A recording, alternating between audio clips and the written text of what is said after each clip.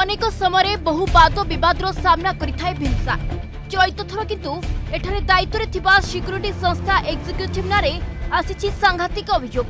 security ସଂସ୍ଥା ପକ୍ଷରୁ ବିଭିନ୍ନ ପଦବୀ ପାଇଁ ଗତ ପାଞ୍ଚ ତାରିଖରେ ବିଜ୍ଞାପନ ବାହାରିଥିଲା ତେବେ ବହୁ ଆଶାୟୀ ଆବେଦନ କରିଥିବା ବେଳେ ନାରାୟଣ ବାରିକ ନାମକ ଜଣେ ବ୍ୟକ୍ତି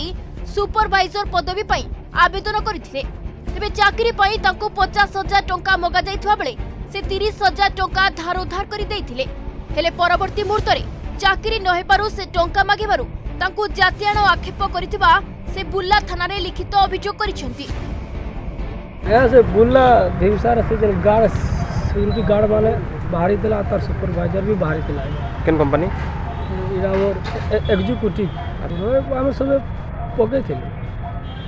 ବୋଇଲେ ମୋତେ ଆମେ ଫର୍ମ और कल बोले मत पैसा पत्र कथा कहले पचास टे कहले मुझे कहना पाइमी एत टा टाँ तीस टे है दे पार्मी आज्ञा बोली नहीं तीस हाँ मैसर ना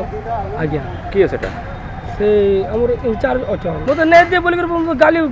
गाली झगड़ा देकर गोड़ा घसी कहन अच्छा पैसा नबार थे आज्ञा दु लोकर हाथ अच्छे कहीं से से आमर आउ जड़े पात्र आज्ञा तेज एक्जिक्यूटिव सिक्यूरीटी संस्था को राज्य सरकार अनुमति देवारू বর্তমান রাজ্যের বুর্লা সুন্দরগড় ও নয়াগড় হসপিটাল মানকরে সিকুরিটি গার্ড নিয়োজিত হেউছেন এনে বুর্লা থানার এক মামলা রুজু হয়েছে বেড়ে ঠকেই অভিযোগে আইপিসি চারিশ কোড়িয়ে ও জাতীয় আক্ষেপ নেই মামলা রুজু হয়েছে বুর্লা এসডিপিও সেপটে এক্সিক্যুটিভ ঠিকা সংস্থার এমডি ঘটনাকে অস্বীকার করা সহ তদন্তরে সহযোগ করবে বলে জনাপড়ি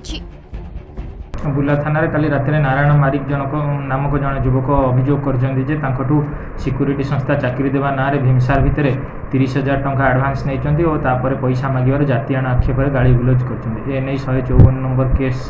ରେଜିଷ୍ଟ୍ରେସନ୍ ହୋଇଛି আইপিসি ধারা চারশো কোড়িয়ে ও অনুসূচিত জাতি জনজাতি নির্যাতনা নিবারণ অধিনিয়ম অন্তর্গত কেসটি রুজু হয়েছে ও তদন্ত আজ আরম্ভ হয়েছে তেবে সংস্থাকে রাজ্য সরকার অনুমতি দেবার বিভিন্ন জেলার হসপিটালে সিকুরিটি রয়েছেন হলে এই সংস্থা চাকরি দেব কই ঠকিথিবা টঙ্কার দায়ী রাজ্য সরকার হেবে কি বলি প্রশ্ন উঠিছি সম্বলপুরু মলভয়ঙ্ক রিপোর্ট অর্গস নিউজ